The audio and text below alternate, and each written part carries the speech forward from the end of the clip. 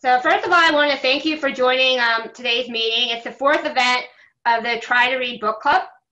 And this is the, the DC Tri Club's first book club. And we just started uh, in this winter and we meet roughly every other month. And we just moved it to a new time, Wednesday, 7 p.m. So hopefully this is a better time. And we discuss endurance themed, themed books. And we also keep the conversation going on the Facebook page. And we meet by Zoom, and you're welcome if you want to. You can be on a trainer, a treadmill, taking a walk in your neighborhood if you phone in. Um, we want we encourage that kind of multitasking. And also, since it's Zoom, anybody can join. And if you, you know other athlete readers that aren't in the DC Tri Club, we encourage you to share the um, link and invite them to join. And all our, event, all our events are free. Our events include both author talks, and we also have you know traditional book club meetings. And we definitely welcome book suggestions. And we haven't decided on our event, our book for the next event, so please send in your suggestions. And most importantly, tonight we're really excited to host author, an author of, best, of a bestseller from 2009, Chris McDougall, and it was Born to Run. And that's why you're all here tonight. And just before getting into the meeting, I wanted to tell you a few housekeeping ma matters. Chris is going to talk for about 20, 30 minutes, and then we'll have a Q&A. And if you have questions, please keep yourself muted during the meeting, but I'll be monitoring the chat box and send your questions to the chat box. Then I'll ask, I'll um, serve as the moderator and ask Chris questions. And I hope that you have a really good time. And I'm going to turn um, the mic over now to Ken, who's going to tell us a little, he'll give a short introduction of Chris, and then we'll, we'll hear from Chris. Okay, Ken. I'm Ken Mierke, a professional running and triathlon coach who's researched running techniques to maximize efficiency and injury resistance. And in 2008, I got a call from this guy, Chris McDougall, who told me he was writing a book about the Tarahumara Indian tribe and how their running techniques help them to excel at ultra distance running. And uh, he'd seen my evolution running DVD and, and asked if I could teach him the techniques. I'd never heard of Chris and I'd never heard of the Tarahumara, but he seemed like a cool guy. So we we met at my studio in Annapolis then, and uh, we ran over videotape of his technique and worked on the fundamentals. And he's not an elite runner, but he's very coordinated, so he picked up the movements very quickly. Um, I had no idea at that time that his book was going to reach number three on the New York Times bestseller list or sell 3 million copies because um, my book has sold 300 copies. So um, uh, after the book came out, then we had him down to three different running stores to do book signings, and all, including one was Potomac River Running, um, which is the, the club sponsor. And each time the uh, the lines were all the way down the down the sidewalk.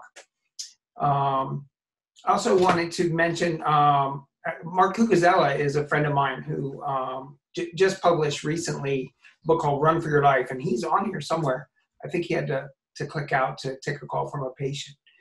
Um, uh, but uh, what what most impressed me about Run for Your Life is it is he wove an incredible amount of scientific information into a story that uh, everyone found interesting and they couldn't put the book down. But by the time they got to the end, they learned a tremendous amount um, of material that would have been dry just by itself. Um, also, he uh, the, the book significantly changed the running shoe industry. Um, and I'm, I'm, sure you guys have all read about that. But the, the all of the running shoe companies have adjusted their approach. Um, and Chris, I want to talk about the Vibram a little bit, um, the five fingers. Um, so anyway, uh, that's that's how I got introduced to Chris, and uh, I'll just hand it over to him. Yeah, thanks a lot, Ken, and um, to everybody else. Please be tolerant of my Zoom technique. This is my fourth Zoom, and only the third where I actually figured out how to turn the video on. So you're only the third time anyone's ever actually seen me on a video. So if the background's weird or I'm jiggling around or eating peanut butter and jelly sandwich, that is from uh, lack of experience. But you know, to follow up on what Ken was saying, I remember Ken our meeting so vividly because all this was so brand new to me, and I really believe it was brand new to most other people. um, I'm sort of curious about your experience because my experience as a guy back in 2007, 2008, who considered himself a, a pretty reasonably knowledgeable athlete uh, and journalist. You know, I was writing for Men's Health and Runner's World. Um, I was the restless man correspondent for Esquire magazine, which had me doing extreme athletics around the world. So I, I kind of thought I, I knew the stuff. And the one thing, like the one number one law that you always saw anytime you wanted to do anything about running was before you do anything else, go to your running shoe store and have them tell you what shoe to wear. Like that was the gospel. And it's sort of implanted in my mind, and I think in the mind of most people, that running really kind of begins and ends with the shoe. You got to get the right shoe, and then everything else follows after that. And then I come across Ken, and I started reading up on you. And I, I don't know what first, what kind of Google search first triggered my attention to you, but you were one of the very first guys, if not the first guy, who was talking about technique. You know, technique over technology. And you were the person who was writing about the fact that when you ride a bike, you don't just hop on and go crashing around. You learn technique. When you jump in the water, people don't just say, hey, swim the way you swim. Everybody has their own swimming technique. You're like, hell no. The more efficient you are, the better your technique, the less your chance of injury, the greater your chance of success. And then Ken said, and this applies to running as well. And honest to God, either I was completely naive and ignorant, or else nobody else was talking about this. Because I don't recall any other people vocally talking about running technique.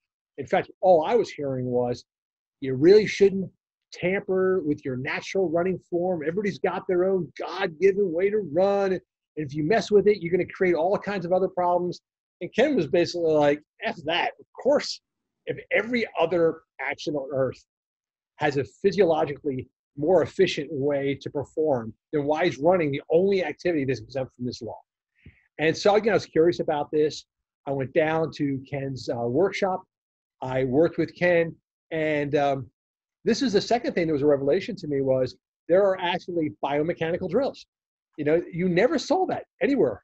You know, 10 years ago, there were not people telling you do the drills. All you were told is mileage. You know, couch to 5K, miles, miles, miles. No one ever talked about technique, about drills you can do to break the movement down into consecutive blocks, which when then reassembled would make you a better runner. So this, this was an eye-opening experience. From there, I had the opportunity to get down to the Copper Canyon and meet, you know, the, the legendary Caballo Blanco, uh, Micah True, the white horse. And he's a pretty, he was a very, very gruff personality and a man of few words, even fewer if they weren't F-bombs. And uh, it, to me, it was like a perfect yin and yang because from Ken, I got the sophistication, the analysis, the bedside manner. From Caballo, I got the extreme performance. This was a guy who had been a professional fighter in Boulder, Colorado. Was actually a ranked fighter and had this kind of conversion moment. He had a bike crash and a bad romantic breakup, and he just chucked it all. Moves down to the ass end of the world into the bottom of this canyon because he wanted to learn from the Tarahumara, learn how to run. And he'd been down there ever since. So when I got the opportunity to travel down there, track this guy down, what I wanted to learn from him essentially is is what Ken is saying true in your experience?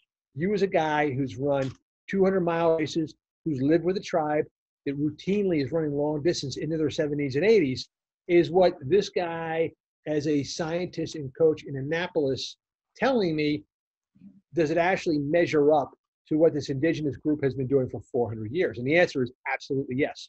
Because what was so cool was when I got down to the Copper Canyon uh, and I had time with the Tarahumara, I got to see a lot of people run all the time, everywhere. I got to see old dudes just kind of running across the canyon to visit their buddies.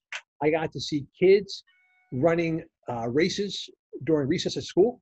I got to see Caballo running with his buddies. So all kinds of people, different ages, different genders, Um, and what I saw though, which was striking to me, was uniformity of performance.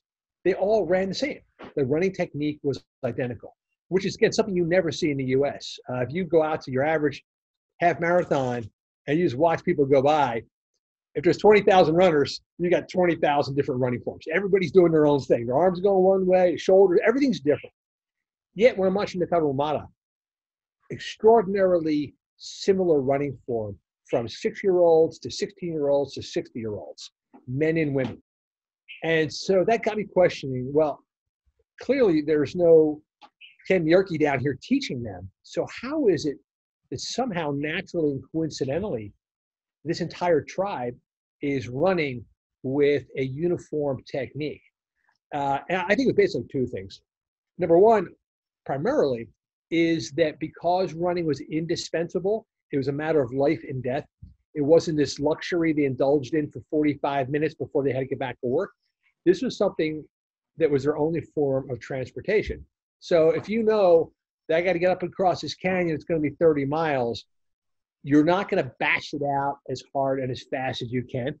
You're going to take your time, you're going to relax, and goal number one is going to be efficiency. You're going to be relaxing. You're going to just try to move with some flow. Um, that was the first thing was this prioritizing of efficiency and ease and relaxation. And number two was the footwear. Because again, the striking thing about the Tarahumara, besides the consistency of their form, is the fact that they're all running in the thinnest of homemade sandals. You know, a chunk of discarded car tire with a leather thong holding it on, and that's it. So again, a lot of this has become familiar to us over the past decade or so. But back then, to me, this was like mind-boggling. I'd never heard of barefoot running or minimalist running. And so I'm watching these guys and I'm asking, how is this possible? Like, how can you possibly run 100 miles in these thin sandals? And that's when Caballo gave me the answer. He was saying that, look, the reason why is because they're not relying on the shoe to correct their technique. Their, ter- their technique is already like platinum plus. The shoe is only providing a thin layer of protection. So I brought this information back with me to the US and I started to throw the net out there wider and wider, trying to find a little bit more corroboration. Because again, this was new to me. I wasn't quite confident about it. I wasn't sure if it was going to work. I started to experiment with it myself. Uh, I had an opportunity for my second trip down to the Copper Canyon, and this was for the race that I chronicle in Born to Run. And at that time, I, my, I met my first barefoot runner. I met Barefoot Ted, which did absolutely nothing to like calm my concerns about this barefoot running shit. Because if you meet Barefoot Ted, or if you've ever had the opportunity to see him talk on video, you know he, he's like this shy of a raving lunatic. Um, you know, he's just off the wall. He's extravagant. But a funny thing about it is, whenever I make fun of Ted and I kind of you know tease him and stuff, or he'll say something, I'll like roll my eyes and like do this with my finger and then six months later, I'll find myself like saying the exact same thing. You know, so so Ted's wacky, and he has he has a, a kind of a mental patient's way of expressing himself. But a lot of what he's talking about is on the money, and he's kind of ahead of it, and he's not afraid to express experimental ideas. So my second trip down to the Copper Canyon, I trained for nearly a year for this race. I experimented with minimalist techniques. I was now meeting my, my first barefoot runner, Barefoot Ted. And I had this opportunity to run a 50 mile race, which I previously nine months ago would have said, no way, impossible. And I got to, through this thing uh, unscathed. And that's what kind of opened my eyes to this idea. And an idea that I think would become my sort of fascination for the subsequent 13, 14 years, whatever it's been since then. You know, when, when I saw what the Tarahumara were able to do, and the fact that it was not restricted by age and definitely not restricted by gender. You see men and women performing on an equal footing. It, it opened my eyes to a couple things, which I feel like, again, I've been researching ever since. You know, number one is we have been subject to such an amazing sales pitch over the past 30 or so years by the technology markets, by, by the shoe industry they have kind of blasted away the notion of natural movements and the resiliency of the human body and replace it with that kind of fear-based marketing, which is if you don't buy the right thing, you will get hurt. You know, like that mafia technique. Hey, if you buy this, you're going to get hurt. And so, you know, we've we've come to idolize shoes to, to this day. Like you know, that that new Nike Air Zoom Super, whatever the fuck it is called. You know, that thing. You know, you can shave a nanosecond off your marathon time. Eh, you know, it's like they talk about with bikes too. Like the guys that go out there and just to, to shave a gram off their bike as opposed to like you know actually do the training and maybe shed 10 pounds off of your own body before you worry about the carbon fibers in your body and we do the same thing with shoes you know we would much rather go to the store and buy a shortcut rather than take the time to learn the techniques do the drills and analyze our own biomechanical responses first and so that to me was what it was all about we have come to replace uh, technique with technology. That's that's the first thing. And the second thing was, you know, when I was watching the Tarahumara and I started to look into ultra marathoning, which again to me in 2006 or so, again was a brand new world. I had not met Scott Jurek or anybody else um, in the ultra running world. When I started to research that world, and you start to come across people like Krissy Moehl and Ann Trason all these runners who are, if not winning the races outright, are pretty goddamn close. And to me, this isn't the only activity. This is the only sport that I know of where men and women are performing on almost an equal footing. And then when I start to look around a little uh, further, and you start to look at long distance swimming, for instance, or in with running with Sherman, I get into burro racing. What you find is anytime you get into sports that require adaptability and endurance, then you see the difference between men and women start to diminish. And I start to wonder, well, what's that all about? And uh, when I started to look into it, that's what led me down the road and eventually into the labs at, at Harvard University, where I met up with, with uh, Professor Dan Lieberman, and also down to um, Shepherdstown, West Virginia, to talk to Mark Cucuzzella. What's so fascinating is that there was this evolutionary theory that was just coming out around that time, 2005, 2006, which looked at running as the human species' greatest physical art form. And Dan Lieberman's hypothesis was that humans evolved to run long distances. It wasn't this like punishment you had to do because you ate a little too much pizza. It wasn't this thing that was going to wreck your knees and be bad for your back. Um, instead, running was actually our greatest strength as a species. Well before we had any technology, we had this ability to run long distances. And you know what? What led Dr. Lieberman down that road was this this mystery which had pervaded uh, evolutionary science for a long time. And, and the question was this: is that they saw that the human brain had exploded in size about two million years ago. You know, we went from a kind of a little pea brain up to these like kind of massive melon heads with these big brains inside. But the first projectile weapons only evolved about 10,000 years ago. So the question was, well, if we needed animal protein in order to fuel these like big melon-headed brains, so that meant somehow we're killing animals to eat. Yet we didn't have bows and arrows until like 10,000 years ago. So for like over a million years, how the hell are we killing these animals which we had to eat in order to fuel our brains. And Dan Lieberman's hypothesis was we did it by running long distances. But the way we did it was by persistence hunting. That early humans out in the African savannah would go out as a group, as a hunting pack. And that's the key word there, pack. If me or Ken or anybody else goes out by ourselves to catch a gazelle, we're coming home empty handed. But if me and Ken and everybody else on this call, if we go out in the savannah together and we pick out a herd of gazelles and we figure out which is the one we're going to break off from the herd and we all go out to chase it and let's say ken is a better tracker than i am so he's going to go point he's going to be the guy tracking it to make sure we keep chasing the right gazelle and don't get sidetracked into another one. And then uh, you know lauren and i will flank it and keep driving and driving it. And we'll grab who's you know alex and who's that? Catherine who looked pretty spry. And we'll say okay this thing's getting tired. You guys go. And we send the young bucks out to run it to the to the finish line to run it to death. That's how early humans were able to run animals into heat exhaustion.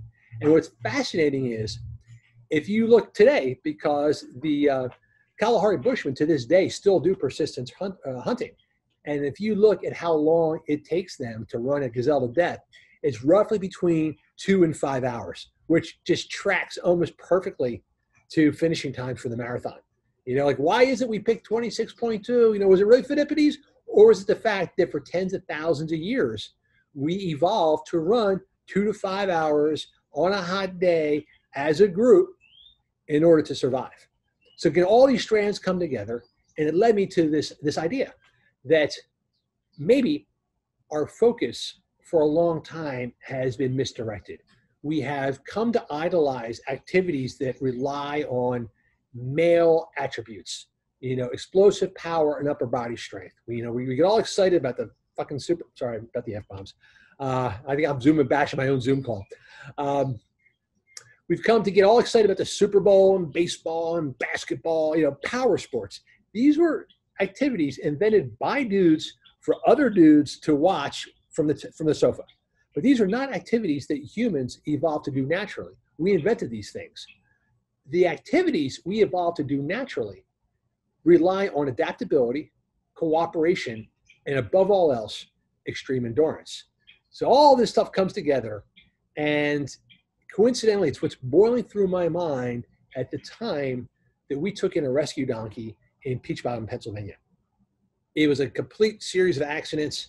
We ended up with a donkey in our backyard, and a very uh, strong-willed and take no nonsense trainer, our friend Tanya, who kind of drilled through my head that if you're going to have a rescue animal, you can't just leave it out there tied to a fence post and hope it's going to get better. Every creature needs a purpose. You know, it needs this this sense when it wakes up in the morning that it's got to go ahead and it's got to get out there and get it done. And so her task to me was find a job, find a job for this animal. And one thing I know about myself is that, you know, if you tell me to do something and it's a requirement, I'm just not going to do it. But if I feel like doing it and it's fun, I'll go out there and do it every day. So one thing I'd like to do was was to go running. So I got this thought in my mind about, you know, what if what if I taught this donkey how to be my running partner? You know, if I got to give it purpose and I have to go out and run with it every day, uh, you know, maybe that's what we're going to do. We'll just go out and, and, and see if we can become running buddies.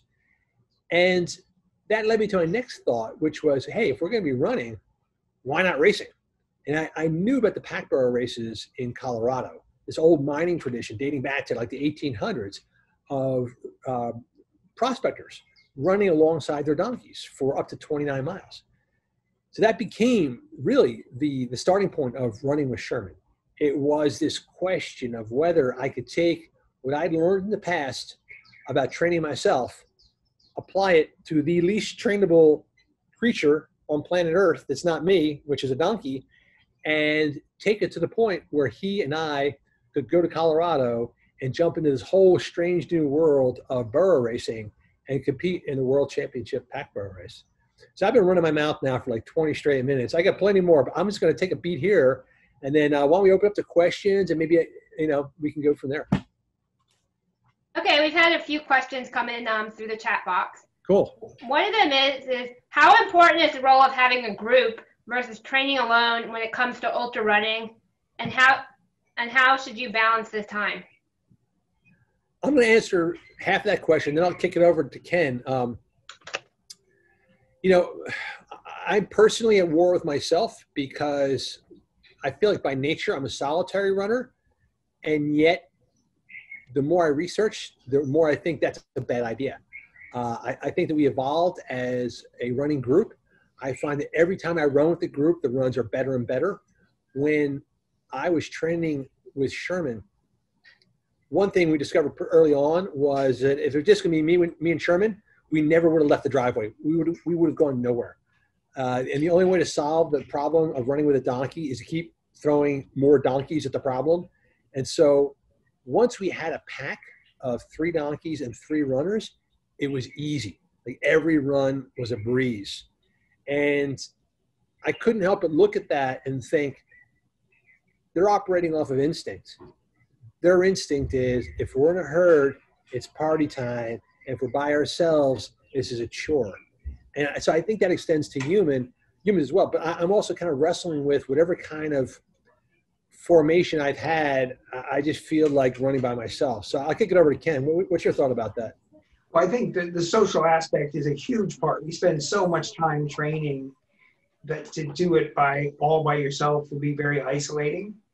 Um, I do think, though, out on the race course, we're going to be by ourselves. So I, I think some people do all their training in groups, and that doesn't prepare you psychologically for race day, which is going to be lonely and solitary, and you need to manage everything yourself.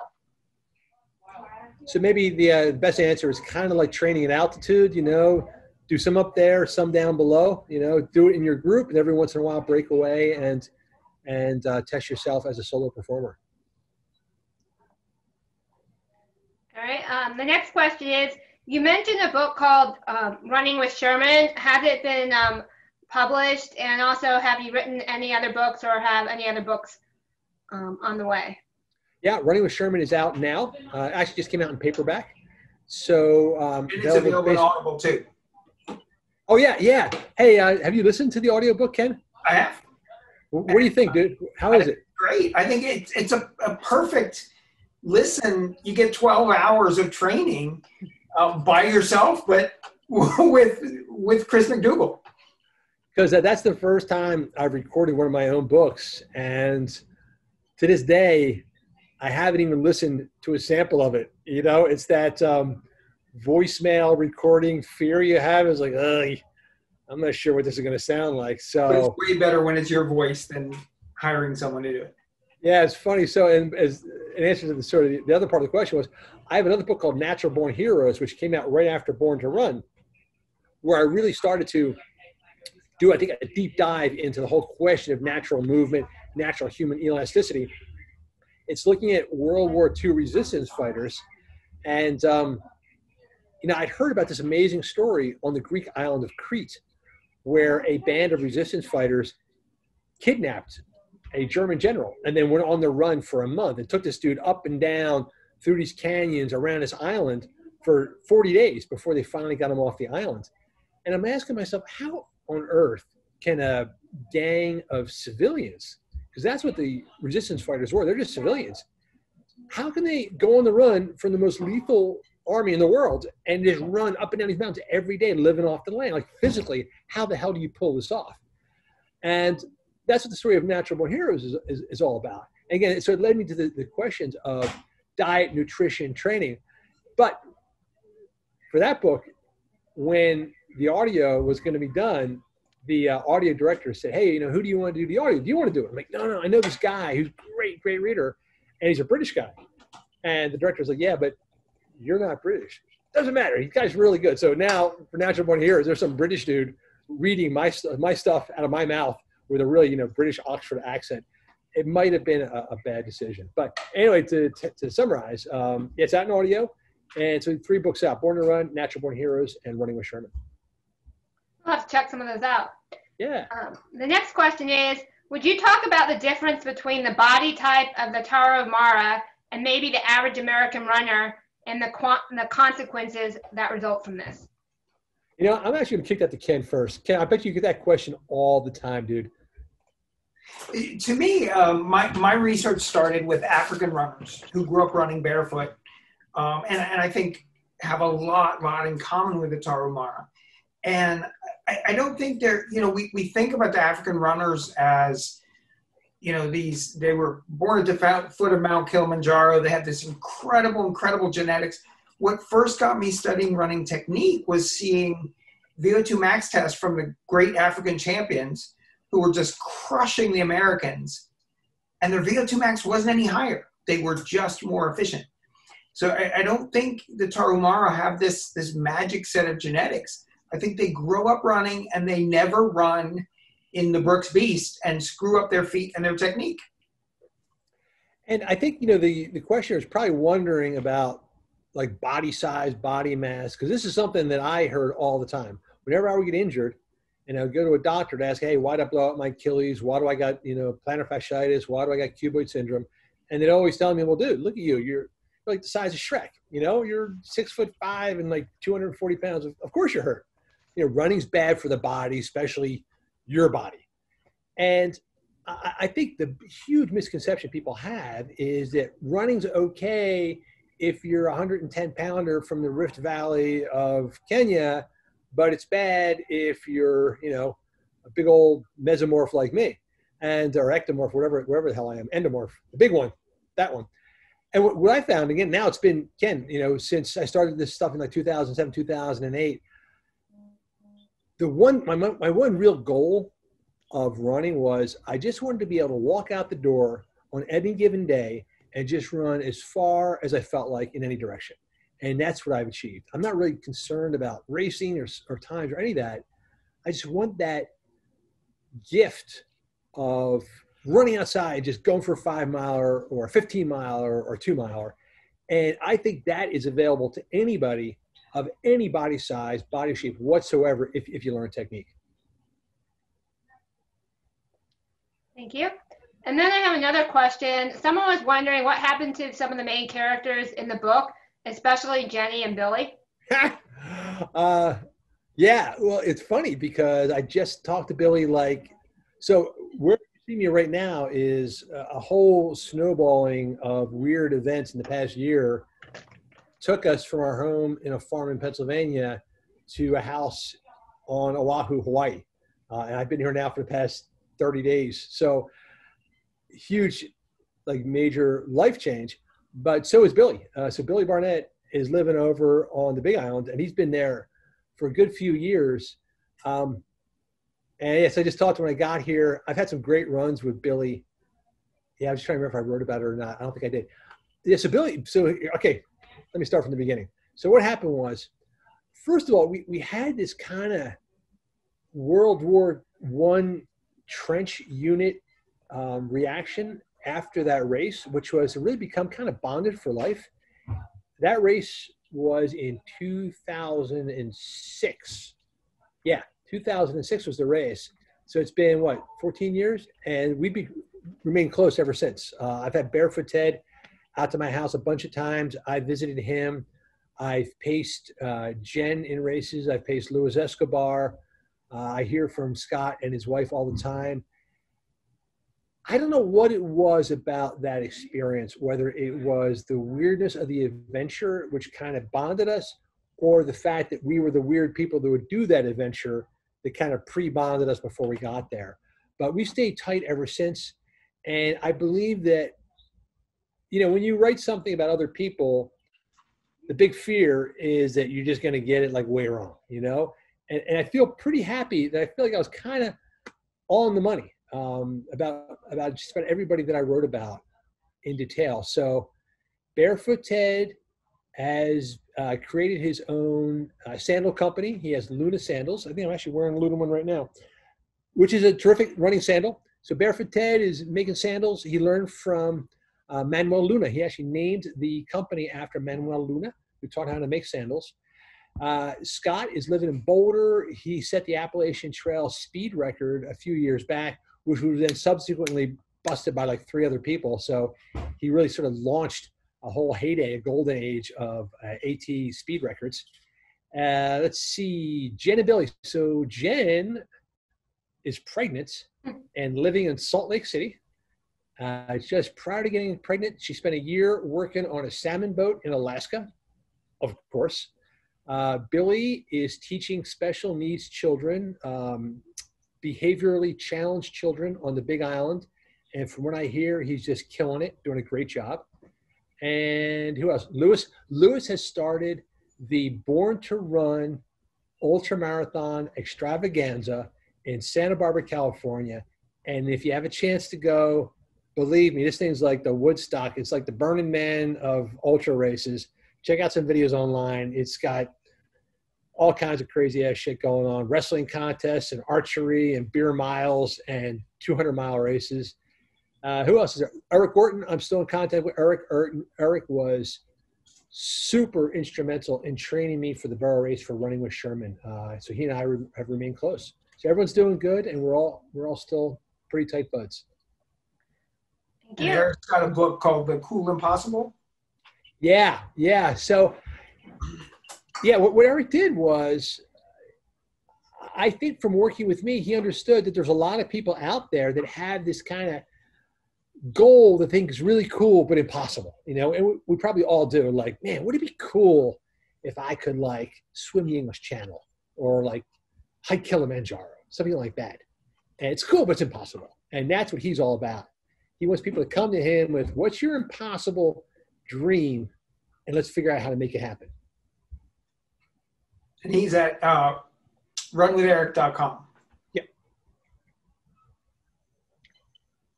Okay, and the next question is Has anything in the last 10 years um, happened that you would end up writing differently about Born to Run, or has it confirmed the hypothesis? And also, if you were to write, a, be asked to write a forward to um, an edition of Born to Run, what would you write in the forward? Hmm. Well, I, I would definitely add an epilogue and I, have actually thought about this, and, and, I might just do it. So, I think it was exactly three years ago, this past spring, I was in Agoura Hills, California for an event, and my phone died on the way to the event. And when I got there, the event director said, Oh, you've been getting these urgent calls from a woman named Maria who's been trying to reach you. And so I borrowed the phone and called this woman Maria, and it was actually Caballo's girlfriend, Maria Walton. And she said, "Hey, uh, I've been waiting for Micah, and he has he's he's really late. He's supposed to be here yesterday, and I don't know where he is." And I'm like, "Well, you know, this dude's lived in the bottom of a canyon for 15 years. Like, you really expect him to be punctual?" And then she said, um, "No, he he left Guadajuko tied up overnight outside, and Guadajuko." is this crazy ass mutt dog that Caballo found in the bottom of the canyons. It seems like half wolf, but they've been inseparable ever since. And he never, ever is separated from that dog. I was in Boulder once with Caballo at some like fancy brew pub, and we're sitting outside, and he's got Guadajuko like in his arms, and this this wolf is like trying to like snatch people's burgers off their tables, and so inappropriate, but so perfect with Caballo. Um, they were bonded. He would never leave this dog tied up overnight. So when Maria told me this, I, I just thought, uh oh, like something, something is wrong. So I told her, hang on a second, let me, let me call Luis. I'll get right back to you. So I called Luis Escobar, who's in much closer contact with Caballo back then than I was. And I said, hey, man, did you talk to Maria? And when he answered, I could hear all this like traffic noise. He's like, yeah, I did. I'm in the car. I'm on my way there. I said, you're on your way where? New Mexico. So he was driving from Santa Barbara to uh, New Mexico immediately because he thought something is wrong. And Caballo's last sighting was in the Gila Wilderness in New Mexico. So I said, listen, dude, by, by coincidence, I'm actually in California. I'm just south of you. I'm, I'm in LA. So I went in, did my event, ran off stage. Luis picked me up, and then we just drove straight down through the night and picking up other people, Pat Sweeney and other people along the way. And when we got there, Scott Jurek was already there. The um, oh, what the hell are their names? The um, damn it. Anyway, these two brothers who are great. Uh, names slipping my mind. Ultra runners. Anyway, a, a, a gang of terrific ultra runners from around the country had already closed in on the scene of his disappearance. And for the next four days, we were out there just searching high and you know, far and wide. Uh, we found him. He, he had passed away. Uh, we still don't really know why. The best hypothesis was that he had contracted a parasitic uh, illness down in Copper Canyon, and it uh, basically it, ate away at the stem of his brain and, and caused irreparable damage, which killed him. But you know, there there are those days of walking up and down those hills searching for him, with all of these terrific ultra runners and fans of his that rushed to the scene. Like the second they thought he might be in trouble they dropped everything and, and raced to the scene. And it, it led me to think that you know what he had always wanted to accomplish in life was to have people come together. And when, when, he talked about his race, he always talked about it as a jamboree. He always wanted to make it like a like a guitar battle So you're not trying to beat the other guy. Everyone's just kind of riffing off of each other and, and joining the celebration. And I'm kind of looking around at the search for him. I'm like, dude, it's so ironic, but you kind of got your wish because everyone's down here together with one unified purpose, and that's to define you. So if I can put an epilogue on Born to Run, I wrote an article about that for Outside Magazine. And I look back on now as I think it's like the best thing I ever wrote because I was just very inspired by Caballo and what he had done. So that would be an epilogue. As far as, you know, whether I would second guess anything, uh, no, I, I kind of feel like, I feel like I wrote it at a really good time in my own understanding of the subject. If I had known a little bit more, I probably would have gotten stuff wrong. But I was writing it from a kind of defensive crouch because, again, the only barefoot runner I knew was Barefoot Ted, and I wasn't taking his word for anything. So I was very cautious about what I was saying. And I was basically saying, like, I don't know if this shit is true, but, you know, it seems to make sense. There's a lot of evidence here. And so I feel like I, I hit the right tone in terms of, as far as I can tell, this minimalism idea is on the money and it seems to be working for a lot of people. Let's see where it goes from there. I think that'd be very interesting.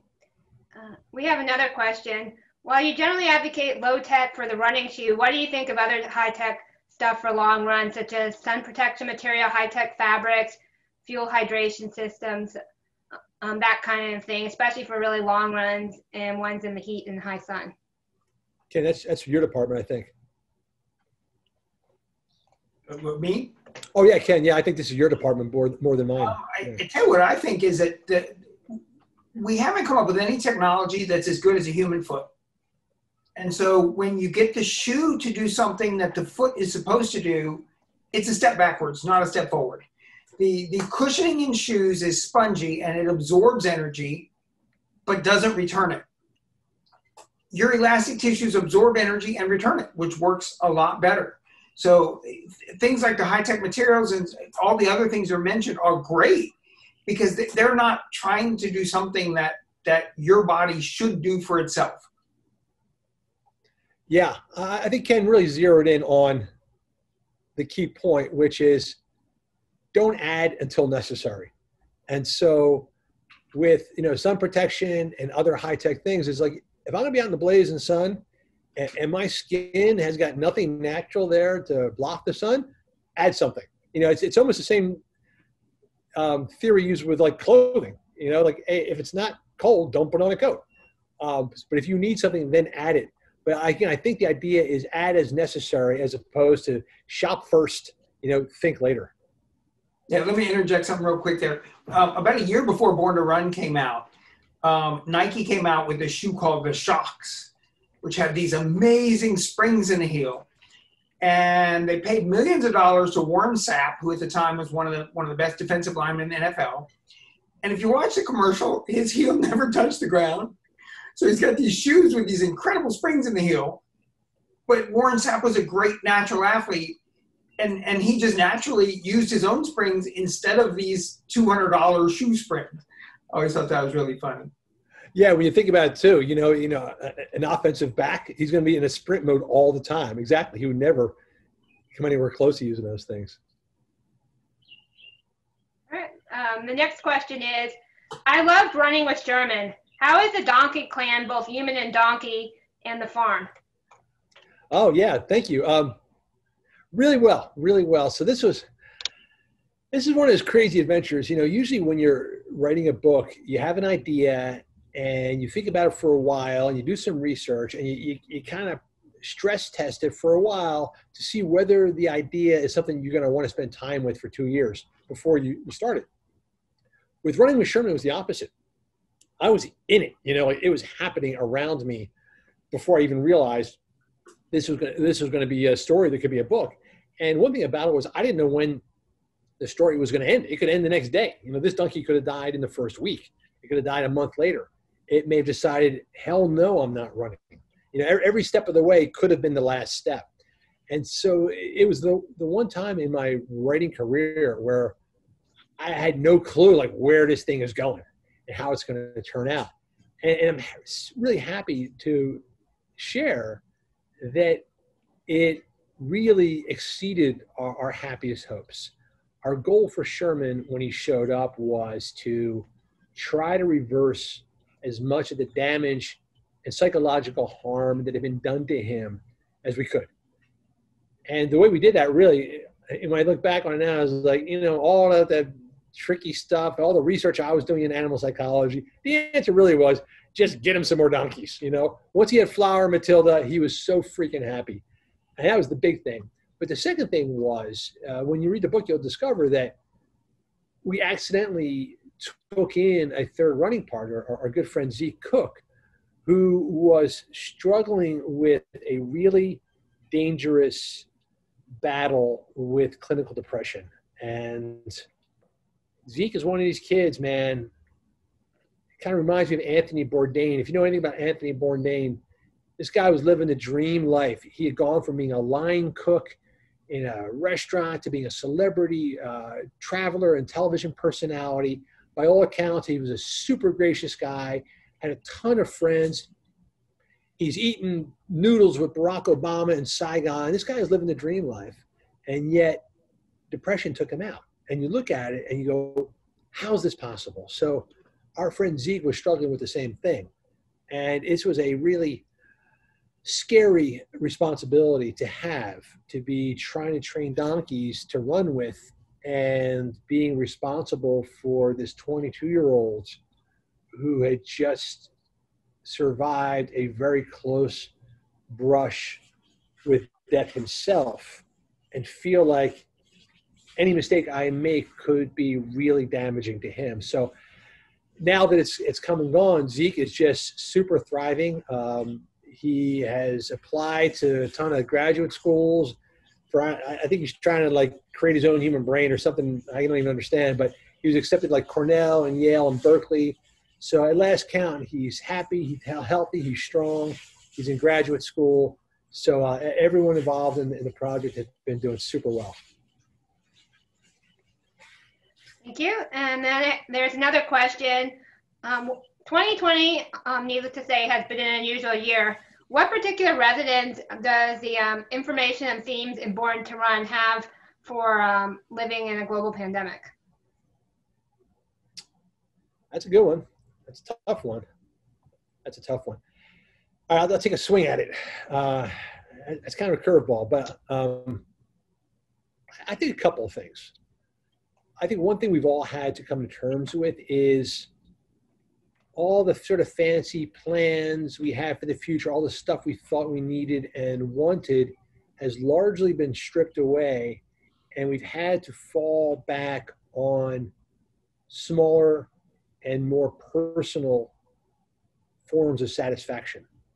And I think that is something, you know, when, when you look at the Tarahumara, I think one thing that makes them so resilient as a group is that they are not materialistic uh, they are not they are not greedy. Um, they live by cooperation. You cannot be a persistence hunting tribe and own a ton of shit at the same time. Because if you're running 50 miles after gazelle, you can't be wondering whether someone stole your titanium bike back at the house. You know, you've got to travel light, work as a group, and really value personal interaction.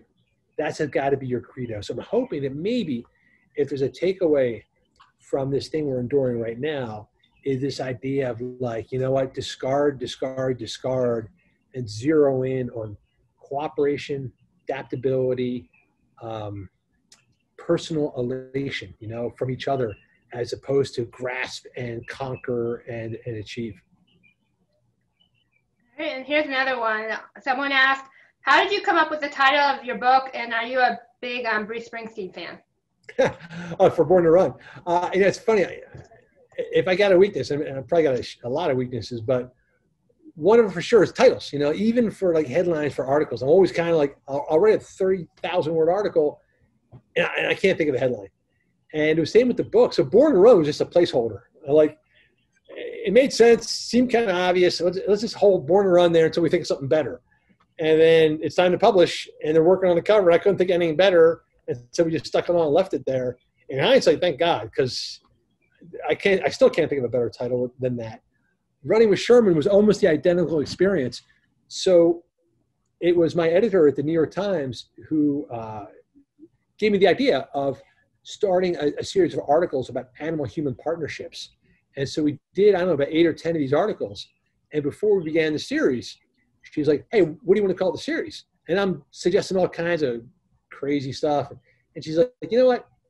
Trust your editor. We're going to call it Running with Sherman. I'm like, no, no, it's, it's, it's, that's too simple. She's like, trust me, Running with Sherman. And so again, in hindsight, keep it simple, keep it obvious. Cause you know, you don't want people going to the bookstore and like, what was that name again? Born to Run, you're not going to forget it. How's Sherman doing in Hawaii? yeah, I'll tell you, we thought long and hard about that, but fortunately, we're on like an eighth of an acre here. So, so here's what happened with Sherman. Um, when we were getting ready to make the move, we started to ask around, like, you know, our first question was, what are we going to do with the donkeys? So we asked our farrier, this woman named Leslie, who trims the donkey's hooves, and say, hey, like, do you know anybody who could take on three donkeys because they have to stay together? And she's like, right here, I'll take them. So she took all three donkeys. She so she has 130 acres in West Chester, Pennsylvania, with five other donkeys. So now suddenly Sherman he's got his own like wild ass donkey pack, and so he's doing real well. So we left him behind. I think that was the best move for him. Um, okay, I have another question. Your book covers a lot of ground. How did you figure out how to code your material, organize it into a cohesive narrative, and what did you learn about uh, the book writing process that um, you've applied to um, future endeavors? Yeah, it was really hard, um, especially with Born to Run. I, I think maybe I, I, I, went through boot camp on that one because I wrote a draft and turned it into my editor. And he called me the next day and he's like, Yeah, you know, I'm thinking you should probably just start over, like shred it and start over because I was all over the place. And you know, it was it was shiny object syndrome. Every every new thing I heard, I was cramming into the book, and I had no no focus whatsoever. Because again, all the stuff was new to me. You know, this idea of challenging the running shoe industry, brand new to me. You know, barefoot runners, brand new. Biomechanics, never heard of it before. And so, what I decided to do was figure, as Ken said earlier on when he's talking about Mark Cucuzzella's book, is that you got to figure out what the story is. If there's not a beginning, middle, and an end that gets people's attention, you're not going to keep them around for very long. And so I take a step back and think, all right, what what is the story here? And whose book is it? And it's really Caballo's book. And it's really a book about this guy because his whole arc from discovering the Tarahumara to changing his own life to creating this race, that's really the span of the book. And so I thought, okay, the beginning is meet Caballo, the end is in a race, and everything else that fits between those two pieces of bread goes in the sandwich, and everything else that doesn't has got to be out. And so that's basically what I did. I, I did the same thing with Natural Born Heroes and uh, Running with Sherman.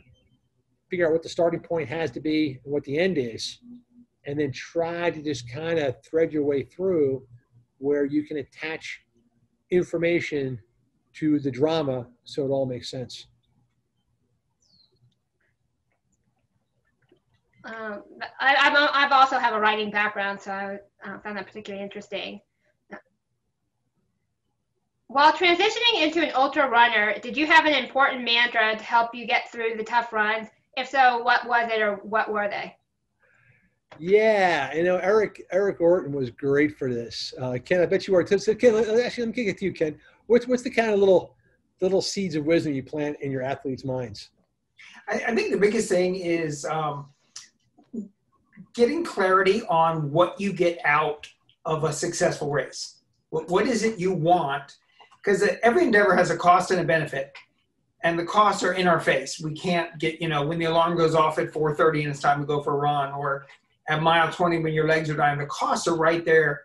And so for me, getting clarity on what you get out of success and keeping that on the front burner um, is is a big one. Also, I, I worked with a sports psychologist early in my racing career, and she had me find a happy place, which was the the moment when just everything went right, and she had me go go when everything's got tough, go back just for five seconds and experience that moment, and it like it changes your whole body chemistry.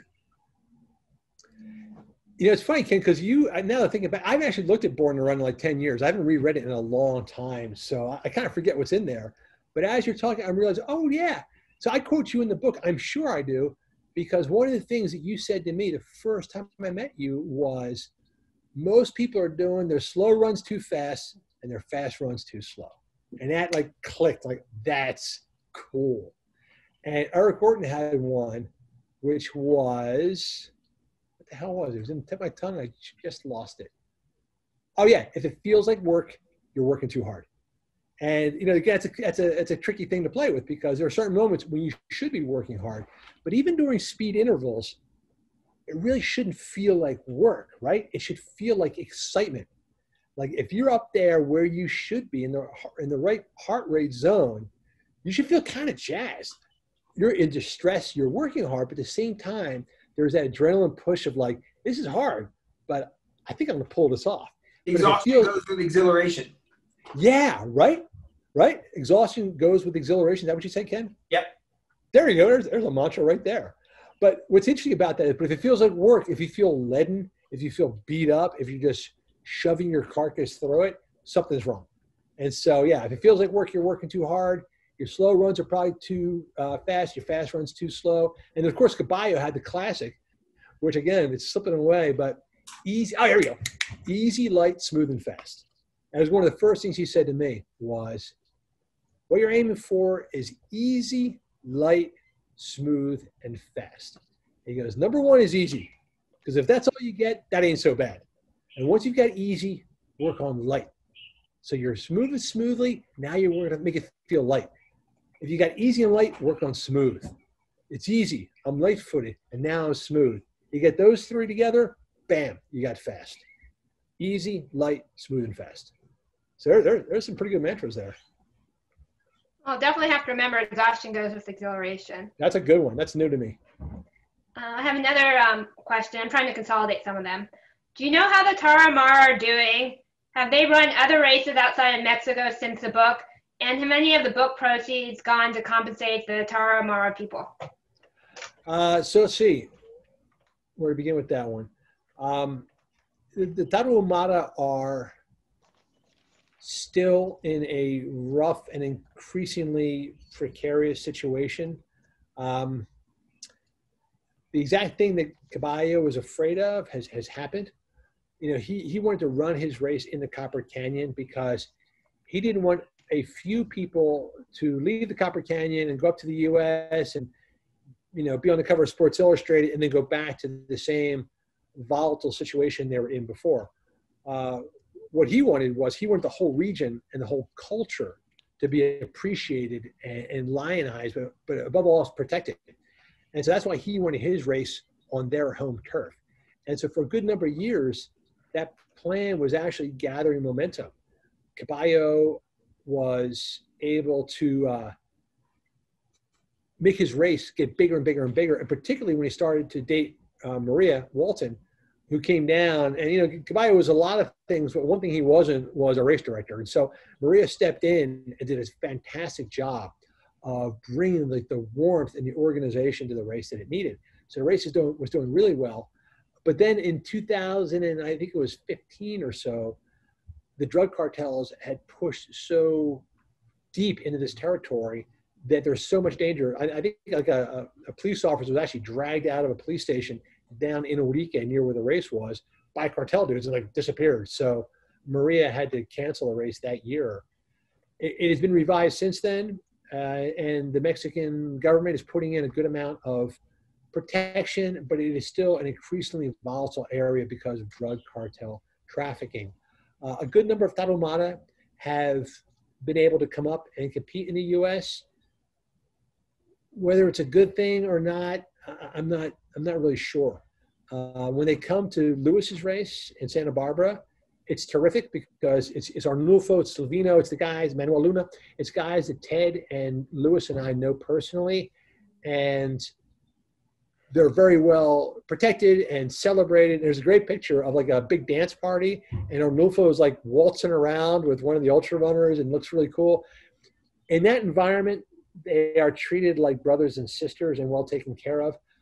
When they've been extracted and flown around the world for races, I, I just I'm always concerned that they're being treated as human oddities as opposed to uh, human beings and, and athletes. So uh, that's something that concerns me. I'm, I'm not sure. Uh, I, I always felt that it would be better if people came down to the region and that region became protected as opposed to singling a few people out.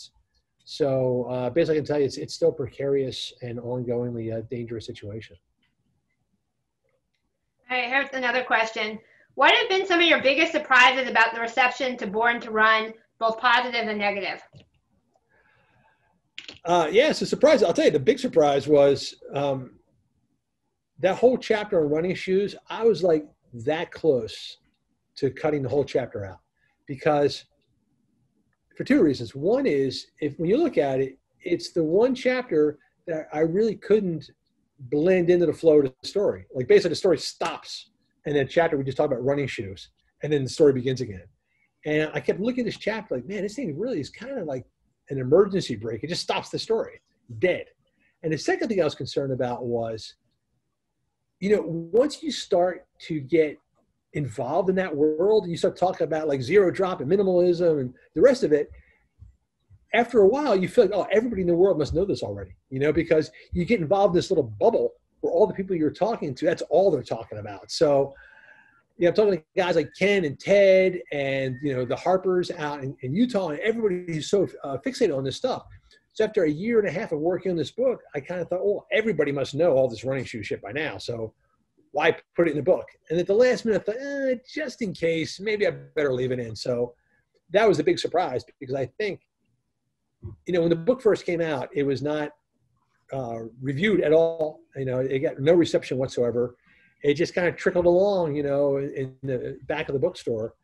And bit by bit, it started to gather attention. And I think it only gathered attention because it took this information, which was very, very well known to guys like Ken, but still new to most of the mainstream public. And it took it from basically Ken's mouth to America's ears, you know? Uh, and that's why that chapter ended up being a surprise to me.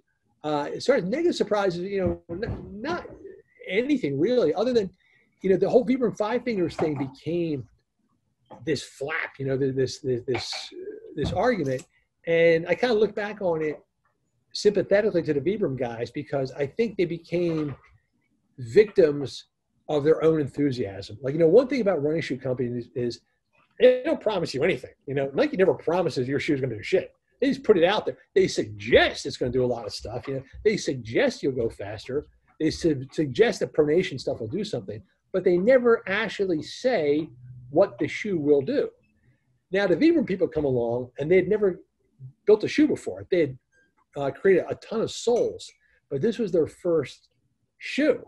And they were converts, man. They were true believers. And so in their advertising, they said that these shoes will reduce your injuries. Well, there was no scientific evidence they could actually prove that. You know, everyone believed it, but they couldn't prove it. And they just left themselves wide open in this lawsuit and they just got crucified for it. So that's a, it's kind of secondhand regret because it you know it didn't really affect me at all. But I look back at those guys and felt like ah, if they'd been a little more battle hardened, they would not have made that error. So when when Chris was going to come down and do book signings, I talked to a whole bunch of running shoe stores, and there were three where I knew the owners, including Potomac River Running. I had coached Margie for many years, and we were close. Um, and they kind of reluctantly agreed, and about eight, nine, ten running shoe stores where uh, I just came out of the blue and they didn't know me were like, if he sets foot on this property, and they're like, no way in hell do we want him in our store. Yeah. You know, it's funny though, Ken, because you know, no one knew what was going on back then, but in a little bit, it was a little bit short sighted because I think the overall effect of the kind of work we're doing is that if we can help people become bulletproof, you know, if we reduce injuries, then there are more runners buying more products, going to more races. And so, really, what I think you're doing running instead of switching to cycling, they'll buy more running yeah. shoes. Yeah. but basically what you're doing is you're you're creating more runners in the world because you're giving them more longevity you're reducing the fear factor and so what running shoes stores back then forgot failed to realize is that look dude if we can help your runners out and get them out in the streets it's ultimately going to profit you. And i think with with the, the, the quote advanced running shoes and with orthotics it's not this scheme of the running industry or podiatrists to injure people and make a lot of money off them it's it's just short sighted. They they put someone in this shoe and their knee hurt yesterday and today it doesn't, and they're they're they're treating the symptom but making the cause worse. But they're not aware of that. You know, Nike didn't set out to make plantar fasciitis. Runners all over the country have plantar fasciitis. Yeah, I mean the culpability thing. You know, it never it never helps to try to point fingers although I think I did in Born to Run. I think I said, you know, it's easy to point the finger at Nike, but that's okay because it's their fault. But in, a way, the reason I, I don't want to let them off the hook is because number one, when he came out with the Nike Free, they knew. Yeah. Like they knew. They were up there with Vin Lananna at, at Stanford, and like this guy's got his guys running barefoot. Um, but the second thing about it was, I, I think what bothers me is this confusing what we can build with whether it can actually work. So they're putting shit on the shelves before they have any clue what it's going to do. You talked about the shocks, you know, things were kept going higher, higher, higher with those shocks, and then they then it went down to nothing. And now we're looking at maximalists where the the the drop is minimal, but the foam is increased. But it's 32, 32. Yeah. Zero so drop. you're basically it's a it's a flat surface, but the flat surface is like is like that thick. like running and on so, a paper towel roll. Yeah, but what's interesting about that is a lot of runners that are super successful, that I really respect and really know what they're doing, love love those maximalist shoes. And so my thing is, but we don't really know. Like I don't know, you don't know. So anyway, that's that's my concern with them is they keep rushing stuff to market with no idea if this stuff's going to help or hurt. But it's going to make money. But it will. It will sell. Um, here's another question. It's a little bit different. How have how have you used your journalism background um, in your book writing career? And are you now doing um, book writing full time for your career? Yeah, you know, so journalism was was great, um, a great proving ground because for for a couple of reasons. I think one is it basically, um, you know, books begin and end with research. You know, I, I think the thing with Born to Run that was my first real book. I'd actually written another book prior to that called Girl Trouble, which is why I always refer to my first book as Born to Run because uh, Girl Trouble was, was, was an interesting experiment. But um, with Born to Run, I really fell back on what I had done for years as a particularly news journalist for the Associated Press, which was like kind of run rumors down to earth. I'd heard about minimalism, I heard about barefoot running, I heard about these evolutionary theories. And what I wanted to do was get as close to the primary sources as possible. So when I was trying to find out about running technique, and I heard about Ken, and Ken's down in Annapolis, and I started to call him and drive down to Annapolis, and then saw him a couple times. So I, want to get as close to original sources as possible for the information. Dan Lieberman. So with Dan Lieberman, it was kind of funny because he had written a scientific paper in Nature about called Born to Run actually about this evolutionary hypothesis. And I contacted him up at Harvard in the evolutionary biology department. I actually got him on the phone. Was very excited. And he was basically trying as quickly as possible to get me off the phone. He's a nice guy, but too busy to talk to another journalist. And I was basically begging him to come up to his lab. And he's saying, no, no, no, no, no. And he paused and he goes, well, wait a second. Maybe you can help me out. So I'm doing an experiment. And for this experiment, I need to find a one-armed ultra runner who runs with his prosthetic on. Don't give me a guy that runs without the prosthetic. I got a million of those. I need a guy with the prosthetic. And he's like, if you can find me this guy, then come on up to, to Cambridge and I'll give you all the time you want. And luckily back then, you know, it was, it was so easy in the ultra community, which was so small that I, I forget what the, what the thing was like ultranet or something like that. But I just like, popped a question online and like, hey, does anybody know a one-armed ultra runner that runs with the prosthetic? And people are like, oh yeah, you, you want you want one arm Willie out in San Diego. Like, here's his cell number. So I called this guy up, and he was willing to go up to Cambridge to do an experiment with uh, with Dr. Lieberman. and that's what got me into the lab for the first time. But to me, like that really harkened back to the old sort of news writing, track people down, knock on their door, get what you need, and uh, that became again instrumental. I think for all my books, getting to the source and kind of wringing out all the facts you can. Thank you. We have about 10 more minutes. Thanks for sending um, all these great questions. Uh, let's see.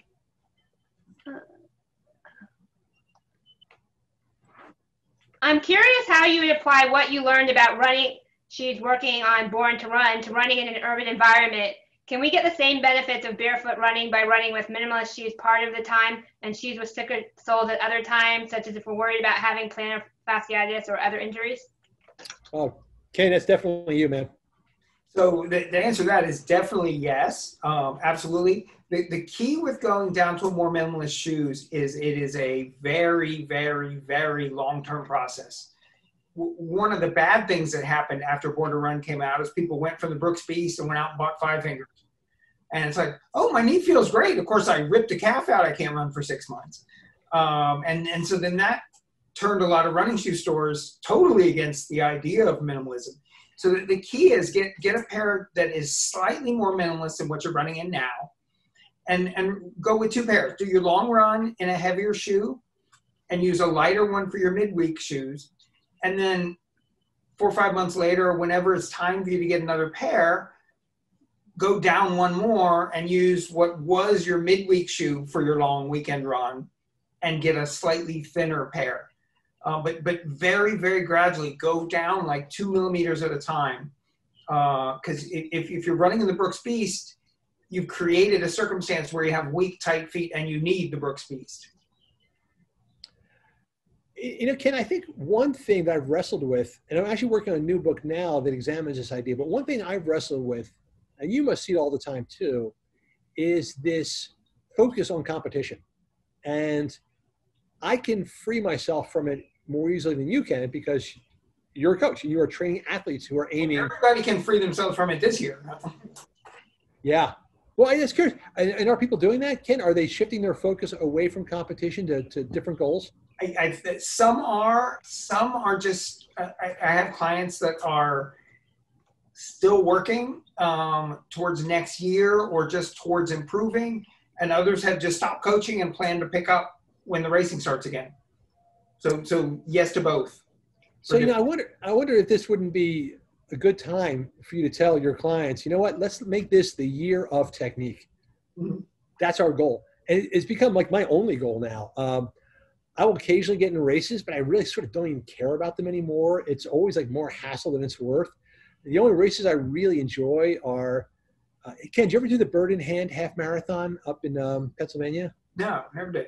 So this is a, an exclusively Amish run race. So the local Amish community up in Bird in Hand, which is a traditional Amish community, created this half marathon as a way of raising money for the volunteer fire company who were first responders for the um, the uh, the nickel mine uh, massacre in, in a uh, Amish schoolhouse. So I'm guessing it's not a chip race. I'm trying to remember if it is timed or not. It is timed. It is timed, but not by chips. How is it? Anyway, I got to think about that because the Pretzel City guys, Ron Horn at Pretzel City, does the timing. I forget how he does it, but so what's cool about this race is that it feels like a it feels like a, a, a summer a summer fair. It's in a in a cornfield with a big tent. Uh, there's no music. There's no noise. So that's basically the only race I really like want to go to, and I can like come ripping up five minutes before the start, park the car, jump in, you know, pay afterwards for your number. It's super informal, but really good race. But what I do think about all the time is technique. Like the lessons you taught me have never left my mind. Every run I go on, I'm constantly doing diagnostics. And I think some people look at that as ruining the run, but to me, it completely makes it exciting, like and interesting. Never I'm constantly right because you're, you're constantly thinking about. It. You're not trying to like shut it out with your headphones, but like Am I dragging my leg? Am I popping my foot off the ground? Am I driving with my knee? You know, is my back up?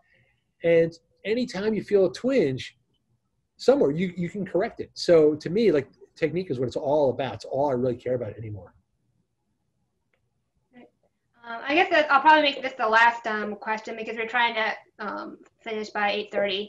what are the what are you most looking forward to now? Any new big goals or bucket list items you're working towards?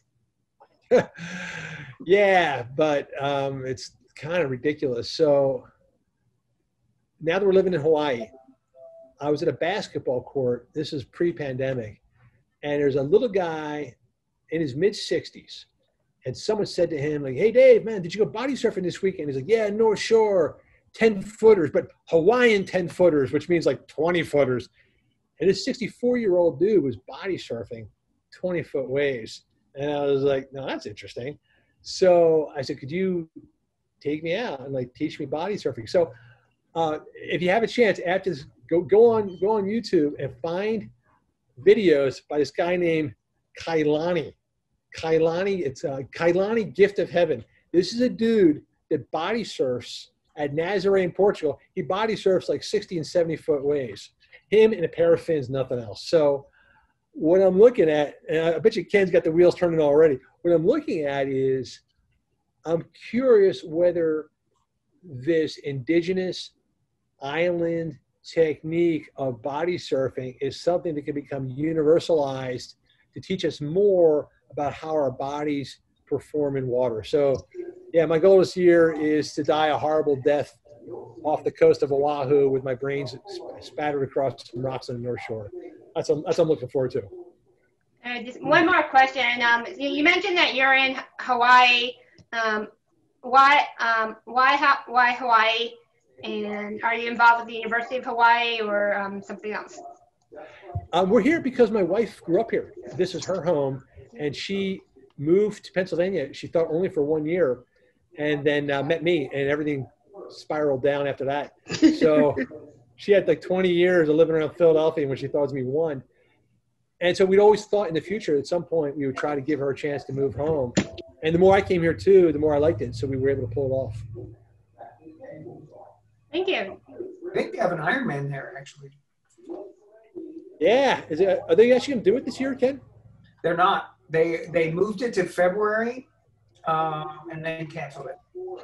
Yeah, that's that seems very wise. Well, that sounds like a great place to be. And um, on behalf of all of the DC Triathlon Club, I want to thank you for taking um, an hour and a half today to um, talk with us. And um, your book is really interesting, and I look forward to uh, reading your other two books. Great. Thanks, everybody. Thanks, Lauren. Thanks, Ken. Thank you, Lauren and David. You're welcome. Thank you. up. We appreciate it. Okay. Great, guys. Bye-bye. Thanks. Good night. Thank you. And if you have um, book um, ideas, please send them to, um, to me because we're looking forward to our, our next book uh, meeting. Most likely, our last one for 2020 will be sometime in November.